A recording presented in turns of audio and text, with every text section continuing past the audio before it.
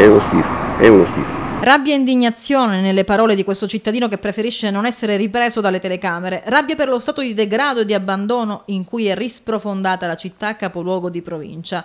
La tregua è durata davvero poco. Da alcuni giorni Vibo Valencia e frazioni sono nuovamente sommerse dal pattume e non c'è solo la spazzatura a preoccupare gli abitanti di Vibo. Sotto Santa Ruba, di fronte a Santa Ruba, c'è una discarica d'amianto il motivo di questa nuova emergenza è causato dalla chiusura dell'impianto della Daneco di San Pietro Lametino, dove confluiscono i rifiuti del Vibonese. Giovedì lo stop dell'azienda che ha chiuso i cancelli per problemi strutturali, mandando in tilt l'intero sistema. L'emergenza, precisa l'assessore all'ambiente Pietro Comito, sta rientrando. Proprio ieri la Regione Calabria ha autorizzato il conferimento nella discarica di Siderno e se a Vibo è ripresa la raccolta, resta critica la situazione nelle marinate. Questa è via delle industrie, trasformata in una micro discarica cielo cielo aperto. Qui ci sono rifiuti di ogni genere, frigoriferi, materassi, oltre a decine e decine di sacchi dell'immondizia che costeggiano per diversi metri l'intera carreggiata.